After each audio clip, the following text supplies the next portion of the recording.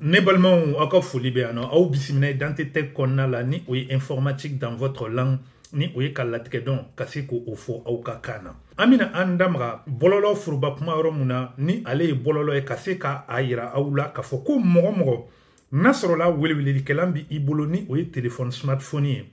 i b'a dɔn k'a fɔ adrɛsi email b'i bolo wali i y'a faamu bɔn o adrɛsi email n bɛna a yira aw la aw ka se ka a sɛgɛsɛgɛ ka a lajɛ n'a sɔrɔ kalabu kalabu mɔgɔw ni o ye piratiw ye n'a sɔrɔ olu m'aw ka adrɛsi email ni sɔrɔ olu ma a pirate ka d'a kan mɔgɔ mɔgɔ ni i bɛ yala bɔlɔlɔ kan i b'a ye k'a fɔ donna nata dɔw la walima don dɔw la i bɛna eh, piratuw u bi i ka adrɛsi email an'i ka mot de passe u bɛna pirate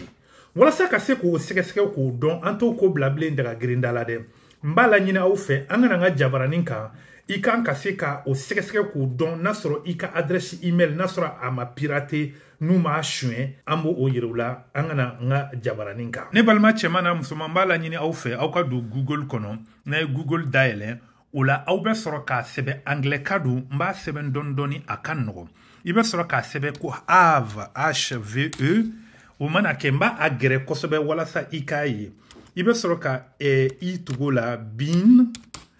i min'o kɛ ka sɔrɔ ka p w ned ka se k'o sɛbɛn n'i y'o sɛbɛn i bɛ sɔrɔ ka a digi i ka butɔn tusi min filɛ nin nin antre i bɛ sɔrɔ k'a digi antre kan o mana kɛ a bɛ nin bila i ɲɛ kɔrɔ n'o kɛra i bɛ i tɛgɛ digi nin kan nin bɛ dayɛlɛ wala nin yɛrɛ de y'a la yɔrɔ nafama ye nin mana dayɛlɛ sisan n bɛ fɛ ka n'a yira aw la nin kɛnɛ in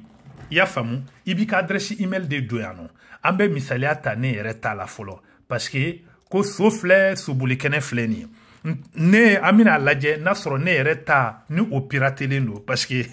a b'i kɔnɔ k'a fɔ ko hali ne yɛrɛ informaticien k'u tɛna ne ta pirate yan N'i ka adrɛsi email don yan i bɛ sɔrɔ k'i ɲɛ jɛngɛ kana nin na ka na a digi pw nɛdi kan n bɛ segin n kɔfɛ dɔɔni i m'a ye op n'i y'a bilenman ye yan dɔrɔn nin kɔrɔ k'a fɔ ko ne ka adrɛsi email mun filɛ nin ye ne donna siti dɔw kɔnɔ piratu ye ne ka adrɛsi email a n'a mot de passe u y'a pirate i m'a ye u b'a yira u y'a yira n na fɛnɛ ko siti mun don myspace Canva ani eh, Deezer ani site dɔw bɛ yen nɔ i t'o olu tɔgɔ dɔn i m'a faamu wa bon n'i ka adresse mail don dɔrɔn n'i y'a ye k'a fɔ ko nin wuruziba in bɔra dɔrɔn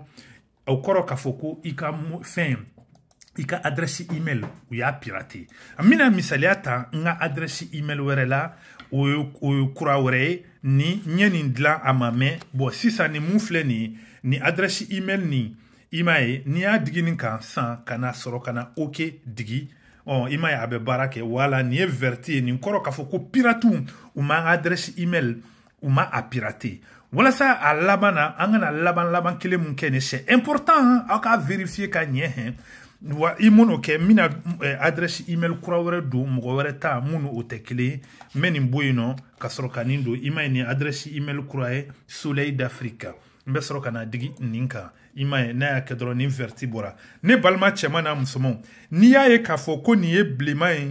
ye i b'i ka adrɛsi eh, email mot de passe i b'a fali n'a sɔrɔla vɛriti don o kɔrɔ k'a ka ɲi ko foyi m'i sɔrɔ ne balima cɛman n'a musomanw nin de kun don ka da aw tulo kan n b'a fɔ aw ni ce aw ka tulomajɔ la